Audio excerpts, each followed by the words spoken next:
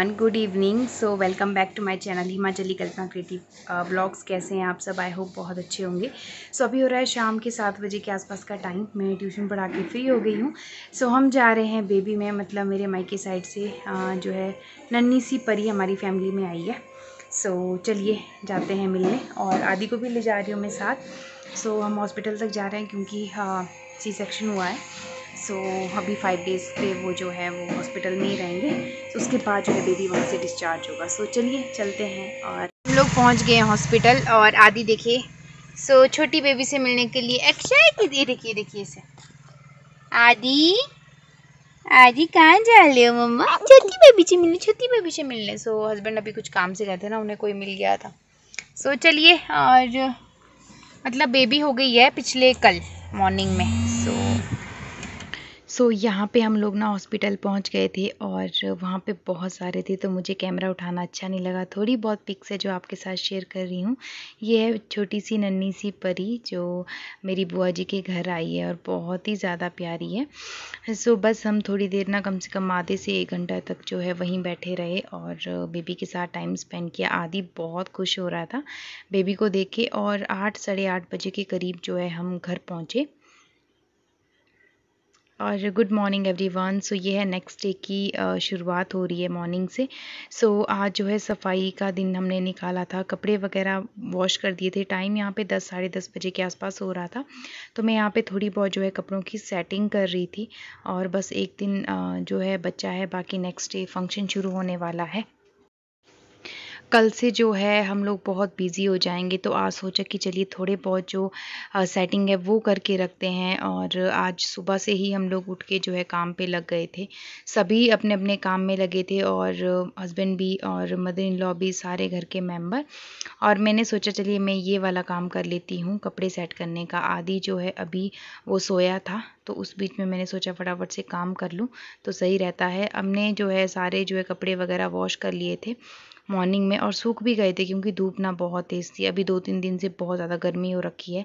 बारिश भी आ रही है बीच में बट ह्यूमिडिटी बहुत ज़्यादा है। मैं बता नहीं सकती हूँ, बहुत ज़्यादा मौसम ख़राब है। यहाँ पे ना आदि उठ गया था तो हस्बैंड लेके आ गए थे उसे। तो मैंने कहा, थोड़ी देर पकड़ो, मैं अपना जो काम है ना, ये कंप्लीट कर लेती हूँ। फिर ये हो जाता है ना कि रह जाता है तो रह जाता है काम। फिर वक्त नहीं मिलता है कि आप जो है उस काम को कंप्लीट कर पाओ। फिर बस आदि के काम में लग जाती हूँ। मैं कहा, थोड़ी देर अपने पापा के साथ खेल लेगा तो सही रहेगा। तो बस यहाँ पे थोड़े बहुत कपड़े हैं ना वॉश किए हुए, इन्हें सेट कर रही हूँ ताकि फिर ये हो कि उस दिन जो है फ़ंक्शन वाले दिन थोड़ा थोड़ा से जो डस्टिंग वगैरह है, उसका काम मैं कर सकूँ। तो बस यहाँ पे सुबह से आज लगे थे तो बहुत ज़्यादा थकावट भी फील हो रही थी इस टाइम पे तो अभी जो है लंच वगैरह भी बनाना था। आज ना बस सिंपल सा ही लंच बनाएँगे और सिंपल सी दाल। वैसे तो भिगोने को डाल के रखी थी राजमा की, अब देखते हैं। क्योंकि जब ऐसा होना क्योंकि थक बहुत गए थे सारे, सुबह से लगे थे सारे तो होता ही है, थकावट हो जाती है।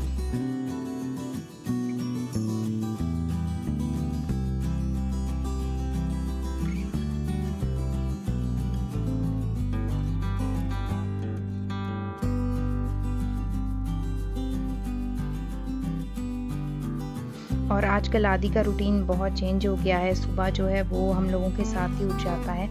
आजकल छः बजे उठ रहा है, उस वजह से जो है सारे काम जो है ऐसे ही हो जाते हैं। सुबह जल्दी उठ के हो जाते हैं। मतलब दस बजे तक हम सारे काम करके फ्री हो जाते हैं। उसकी वजह से हम भी जल्दी उठ जाते हैं। होता ही है, बच्चे जल्दी उठ जाए तो फिर उठना ही पड़ता है। और यहाँ पे आदि को ना, अब बस अभी रह नहीं रहा था अपने पापा के पास तो मैं कहा थोड़े बहुत जो यहाँ पे गमले ना इन्हें सेट कर दूँ। इसके बाद गाइस टाइम ना वो 12 बजे के आसपास हो गया था और यहाँ पे मैंने शार वगैरह ले दिया आदि को भी नहला के फ्री कर दिया था। आज तो बहुत ज़्यादा मतलब थकावट हो रही थी फील इस टाइम पे। सारे जो है वो अभी इशार ले रहे थे तो मैं कल लंच बना दूँ फटाफट से, फिर थोड़ी देर जो है सारे सो जाएँगे रेस्ट कर लेंगे, क्योंकि सबकी हालत बहुत ज़्यादा ख़राब थी। होता ही है ना, जब घर पे इस तरह का कोई फ़ंक्शन हो, उससे पहले सफाइयाँ करो और फिर फ़ंक्शन के बाद तब भी सफाइयाँ करो। बहुत ज़्यादा जो है वो आ, मतलब हेक्टिक हो जाता है आपका जो रूटीन है। आज तो सुबह से इतना ज़्यादा हेक्टिक लग रहा था बहुत ही ज़्यादा तो यहाँ पे फटाफट से मैं दाल तड़क रही थी।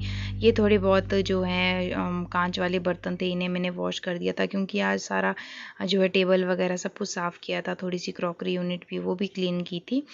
तो उस वजह से सारे जो है जो मतलब क्रॉकरी आइटम है, वो मैंने वॉश करके रखी थी कुछ कुछ जो यूज़ होने वाली है, निकाल के रखी थी। क्योंकि फ़ंक्शन वाले दिन ना फिर नहीं निकाली जाती है चीज़ें, इससे अच्छा पहले अगर प्रिपरेशन करके रखो तो ठीक रहता है।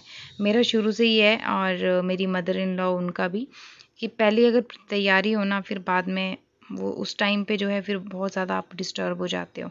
इट्स बेटर कि पहले से प्रेपरेशन हो तो ठीक रहता है। तो यहाँ पे सैलड वगैरह कट कर रही हूँ। दाल में तड़का भी साथ साथ लगा रही थी क्योंकि आदि ना, ये खीरा बहुत पसंद करता है। तो उस वजह से जो मैं पहले काट के रख रही हूँ कि अगर आ गया रूम में वो तो फिर फटाफट से जो उसे एक पीस दे दूँगी मैं। उसके पापा के पास तभी मैं कहा थोड़ा सा उसे घुमा दो तो वो गए थे ऊपर टेरिस पे उसे थोड़ा सा घुमाने। क्योंकि जो है उसे डे टाइम पे अंदर रहना बिल्कुल पसंद नहीं है। बाहर सोचता है कि बाहर ही रखें मुझे। तो यहाँ पे थोड़ा सा ना प्याज भी कट कर रही हूँ सैलेड के लिए और चटनी भी ख़त्म हो गई है हफ़्ते भर की बना रखी थी तो मुझे अभी चटनी भी बनानी है। और दही जमाने को रखा था नहीं तो फिर थोड़ा सा रायता भी बना लेना था क्योंकि भूख भी बहुत लगी थी आज हम लोगों ने ब्रेकफास्ट भी नहीं किया था। क्योंकि सुबह जो है आ, काम करते करते किसी को पता ही नहीं चला भूखा ग्यारह वैसे ही बज गए थे तो फिर सबने कहा कि लंच ही करेंगे तो बस मैंने तड़का भी जल्दी जल्दी लगा दिया था। लंच भी आज जल्दी बना रही हूँ, बारह, साढ़े बारह बजे के आसपास ही टाइम हो रहा है। तो राजमा ऑलरेडी भिगोने को डाली थी और इसके साथ साथ ही बर्तन थे, इन्हें भी मैं सेट कर रही हूँ। मॉर्निंग के बर्तन थे। फिर ठीक रहता है फटाफट से जो है, जितने में मेरा तड़का रेडी होता है ना, उतने में ये सारे काम भी मैं साथ साथ कर रही हूँ। और आदि ना मुझे बाहर से देख रहा था और रोने लग गया था तो मैंने हस्बैंड को कहा, थोड़ी देर ना इसे किचन ला दो।